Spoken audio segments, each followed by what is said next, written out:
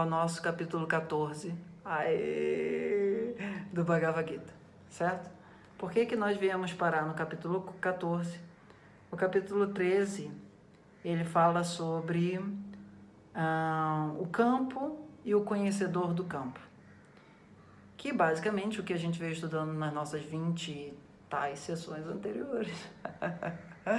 tá dando um, digamos assim, uma prévia.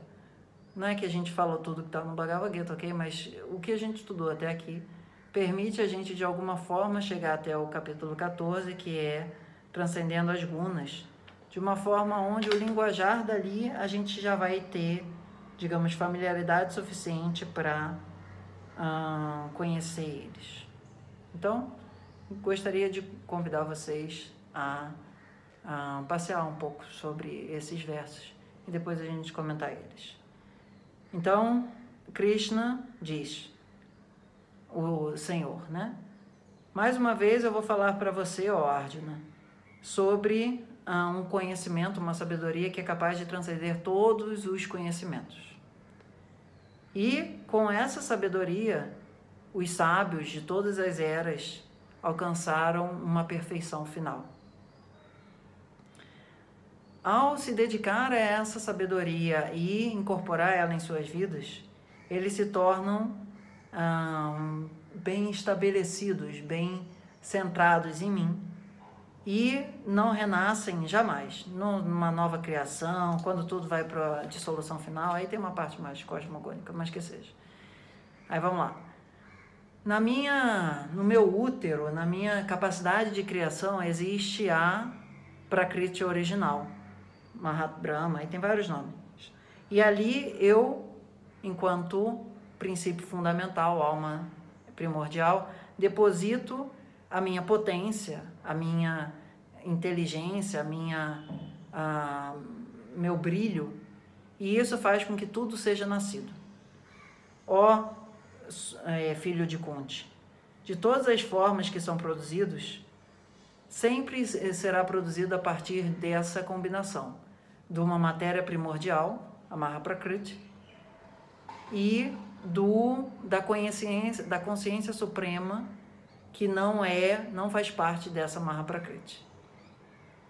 Dentro dessa Mahaprakriti, ó, hum, não vou aqui falar, aquele que é de braços fortes, Mahabahu, hum, existem três características, três fundamentos principais. Um deles é Sattva, outro deles é Rajas e outro deles é Tamas. Eles existem fundamentalmente nessa Prakriti original, é da natureza delas. E dessas três gunas, é, Sattva é capaz de te trazer um despertar espiritual e saúde. Porém, isso é muito importante, ela faz com que o, a pessoa, o praticante ali, fique preso à busca de uma felicidade ou paz e fique preso à busca do conhecimento espiritual. Aquele que fica preso a rádias, ele fica apegado à paixão, à busca da realização dos seus desejos materiais e ao resultado das ações.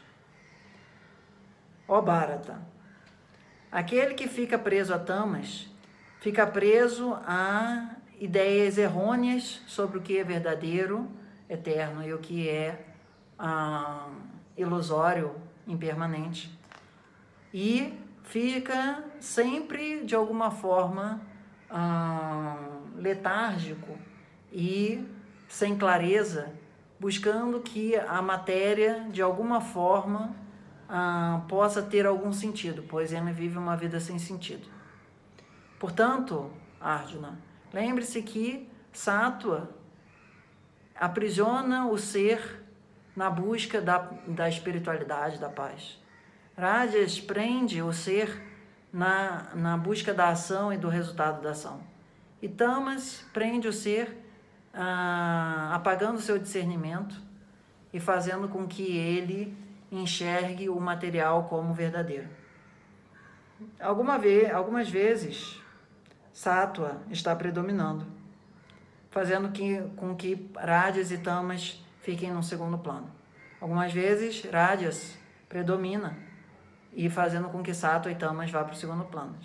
Outras vezes, Tamas predomina, fazendo com que Sattva e Rajas vão para o segundo plano. Ou seja, na criação, nunca Sattva está plenamente presente e os outros não estão.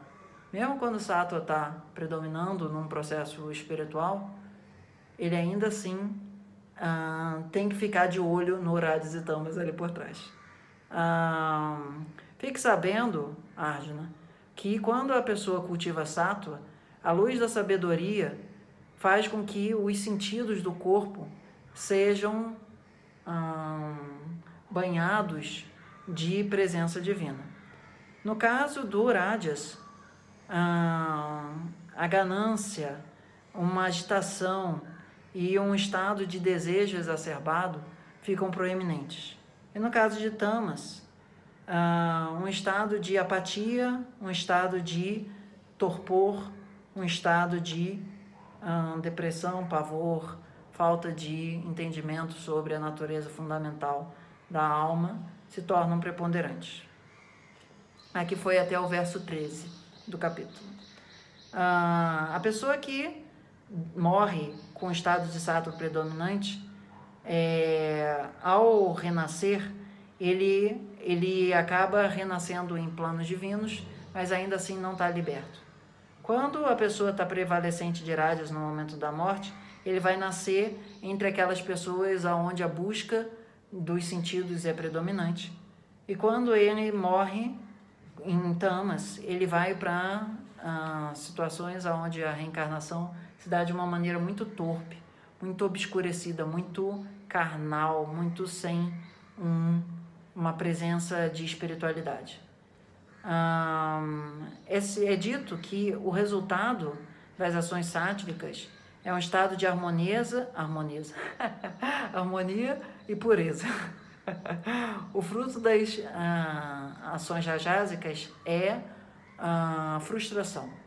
E o fruto das razões das ações tamásicas é um estado de aí ignorância deveria ser em português algo do tipo ah, torpor, é, desespero também seria uma palavra boa. Então, dessa forma, Ardina, é, a sabedoria ela surge de sattva, a ganância e as paixões perturbadas de rádias e um estado de desesperança, de é, a pessoa se sente hum, sem, sem ela se sente apática é o resultado do nasce de tamas. Aqueles que estão estabelecidos em sátua progridem espiritualmente. Em rádias, eles têm resultados para um lado e para o outro. Eu, de uma hora está indo favorável, ficam dois para lá, dois para cá. E aqueles que estão ah, reverenciando, estão seguindo uma rotina tamásica, eles ficam cada vez mais ah, presos no na teia da aranha da matéria. Ah, quando uma pessoa percebe que a criação não é nada mais do que essas três gunas, ela vai além dessa prisão e ele começa a voltar à sua própria essência, à minha existência. Tendo transcendido os três modos da existência, da Prakriti, o homem, a pessoa, finalmente é libertada do ciclo de uh, renascimento e atinge a libertação, a imortalidade. Então Arjuna diz, aí estamos no verso 21. Ó oh, Senhor, como que eu posso distinguir aquele que transcendeu os três modos? Como é o seu comportamento? E como, e como ele, vai, ele transcende, ele se coloca acima, além das três gunas.